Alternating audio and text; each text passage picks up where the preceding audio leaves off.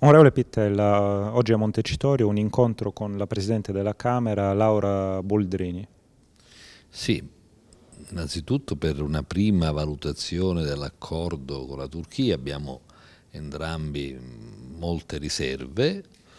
certo l'accordo è utile ma sicuramente non è risolutivo eh,